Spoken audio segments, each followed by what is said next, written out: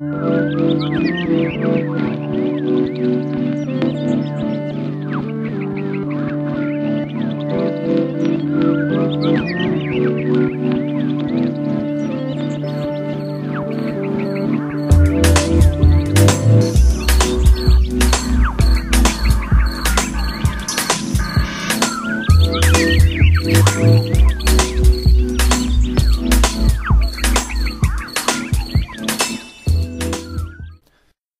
Bonjour à toutes et à tous, bienvenue sous la canopée, ici Monsieur Green. Un véritable voyageur est celui qui souhaite faire progresser la somme des connaissances, nous disait Théodore Monod, naturaliste et humaniste français né en 1902 et mort en 2000. Quelle ne fut pas la surprise de ces femmes se baignant dans le fleuve lorsque les premiers explorateurs occidentaux sont apparus dans leur embarcation Seuls au village, pendant que les hommes étaient affairés à quelques occupations, quelle violence, quelle peur ont-elles ressenti lorsqu'elles ont découvert de nouveaux êtres hostiles? Elles ont dû se battre. Loin de faire progresser la somme des connaissances, les explorateurs se sont imposés, ont pillé, ont amené avec eux des maladies qui ont rapidement décimé 85 à 90% des indigènes d'Amazonie. L'Amazonie, cet immense territoire s'étendant sur plusieurs pays, représentant la taille de l'Australie, nous a toujours été raconté du point de vue occidental, et c'est une erreur. L'Europe a toujours fantasmé cette conquête territoriale, nous pouvons le constater dans la représentation des Amazones comme des guerrières affranchies dominant l'homme. Quelques anciennes représentations nous montrent une Amazone au sein coupé pour pouvoir tirer à l'arc, accompagnée d'hommes sans tête. La méconnaissance suscitée par ce monde supposé hostile, par sa végétation luxuriante, sa faune composée de prédateurs, l'émergence de nouvelles maladies bactériologiques, a dirigé l'homme occidental vers une maîtrise de cet environnement naturel, mais également humain. Les avancées techniques de l'Occident permettaient d'asseoir une supériorité sur ces peuples. Encore à l'heure actuelle, nous pouvons lire, comme Michel Onfray peut l'écrire, que les indigènes d'Amazonie sont le passé de ce que nous sommes aujourd'hui. Quelle arrogance de considérer des sociétés abouties et résilientes comme inférieures. Bien au contraire. Par nos dépendances exponentielles aux énergies, à notre gavage de ressources naturelles, nous sommes les êtres les moins aboutis. L'Amazonie n'est pas un vestige de notre passé. Bien avant les premiers explorateurs, les peuples prospéraient. Plus de 10 millions d'indigènes vivaient en Amazonie. La découverte des Européens est arrivée au moment même de leur développement et de leur prospérité. Nous considérons la forêt amazonienne comme vierge et hostile. Pourtant, les indigènes, comme nous autres occidentaux, ont maîtrisé et façonné leur paysage. Ils ont détourné les rivières, créé des monticules en zones non submersibles permettant l'agriculture, ont créé des fossés. Toutes ces transformations anthropiques sont aujourd'hui constatées grâce aux images satellites et la déforestation qui met à nu ces travaux titanesques, mais qui, à la grande différence de nos constructions, n'empiète pas sur le rayonnement naturel et le besoin vital de la nature pour subsister.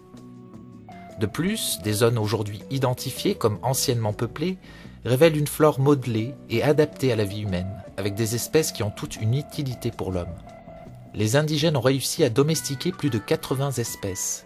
Il existe plus de 350 langues, et non dialectes, avec 80 familles linguistiques. Si nous considérons l'Europe, il existe une trentaine de langues avec 5 familles linguistiques. Cette richesse en ethnodiversité est à la hauteur de la richesse en biodiversité. À elle seule, l'Amazonie concentre 15% des espèces mondiales, avec par exemple une espèce d'oiseau sur six. C'est également une diversité de sols unique, très riche, et là aussi parfois façonnée par l'homme, avec des couches de sédiments, végétaux et autres, des débris de poteries les composent aussi, permettant de penser que l'agroforesterie existait. C'est également une flore exceptionnelle avec 16 000 variétés d'arbres quand la France en compte 250, une canopée atteignant les 60 mètres. Longtemps et encore considérée comme un milieu hostile, l'Amazonie a souvent été perçue comme un mouroir. Mais pour qui? Pour l'homme occidental? Certainement pas pour les milliers d'espèces qui y foisonnent. L'Amazonie, poumon vert de l'humanité, qui fournit à elle seule 20% de l'oxygène mondial, est soumise à une pression internationale pour l'accaparation des richesses qui détruit actuellement sa biodiversité et ses peuples.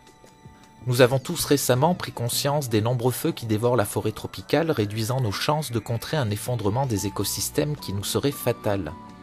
L'incroyable complexité du monde ne nous permet pas, tout le temps, de connaître l'intégralité des données quand un problème se pose, et ainsi d'agir pour le résoudre. Les feux en Amazonie représentent un nouveau pilier qui s'effondre sur notre humanité, comme la plastification de nos océans ou l'appauvrissement exponentiel de nos sols. Actuellement, le capitalisme financier a pris le relais de la colonisation avec un impact beaucoup plus fort et rapide, de manière unilatérale et sans aucun respect du commun. Les ressources naturelles essentielles à la vie humaine sont le bien de chacun et ne doivent pas être privatisées. Théodore Monod disait Si l'on n'y prend pas garde, l'avènement du mercantilisme de tous bords pourrait céder la place à une autre civilisation, aux conséquences catastrophiques, celle de l'obscurantisme. C'est bien ce qu'il se passe actuellement. Parce que si nous étions conscients et non saisis d'obscurantisme, nous devrions voir que si les feux ravagent l'Amazonie, nous y sommes aussi pour quelque chose. Bolsonaro, Trump, comme tant d'autres actuellement dans le monde prenant le leadership, apportent leur expertise climato-sceptique d'un autre temps.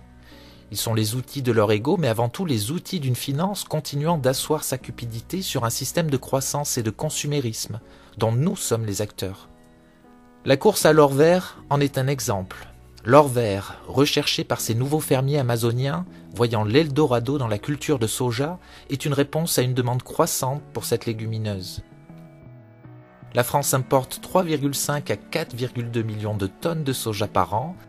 En 2017, 61% de ce soja provenait du Brésil. L'agroalimentaire a donc une part de responsabilité dans la déforestation. Vous me direz, je ne consomme pas de soja. Faux, vous en consommez tous les jours dans de multiples produits industriels, comme dans les barres chocolatées par exemple. Vous aurez remarqué que nous entendons moins parler de l'huile de palme. L'adaptation des grandes multinationales aujourd'hui n'est qu'un déplacement de problème. On peut également appeler ça du greenwashing. Qui ne s'est pas targué de ne pas consommer d'huile de palme mais du soja pour affranchir sa conscience écologique? La demande crée l'emploi et les gauchos, tels qu'ils sont appelés en Amazonie, ces nouveaux fermiers comptent en découdre avec la forêt tropicale pour avoir leur part du gâteau et satisfaire nos désirs. La cupidité ne s'arrête pas là. La prospection à l'extraction aurifère menace également la forêt tropicale et les peuples autochtones. Un anéantissement des écosystèmes pour relancer la machine financière. Voilà les projets futurs de l'Amazonie. À ce rythme-là, nous apprendrons bien vite que l'argent ne se mange pas. Nous avons tous un rôle à jouer, mais pour cela, comme l'oiseau a besoin de l'insecte pour survivre, comme le corail nécessite une certaine température des océans pour survivre, l'homme a besoin de reconsidérer sa place dans le monde et restaurer le lien inséparable que nous avons avec le reste du vivant. Pour cela, sortons de l'obscurantisme et ayons le courage de changer, car nous avons besoin d'air pour respirer, de nourriture pour prospérer et de nature pour nous élever. Théodore Monod disait À force de vouloir assainir des biotopes que nous jugeons hostiles à notre propre développement, ne sommes-nous pas en train de les rendre plus hostiles encore? Aujourd'hui, je dirais même plus assainir les biotopes par cupidité et non plus par hostilité, c'est cette folie de l'homme qu'il faut raisonner. C'est tout pour aujourd'hui. Excellente semaine à tous. C'était Monsieur Green. Fin de la retransmission. Comment c'était? Oh, oh, oh C'était un, un pur, un pur délire. J'ai trouvé ça. Moi, green, oui. Green comment? Oh, super green, aussi green que ça peut être green. Green à la puissance des green, green, green, tu vois. Mais tu vois le green, green absolu. Green, green, green.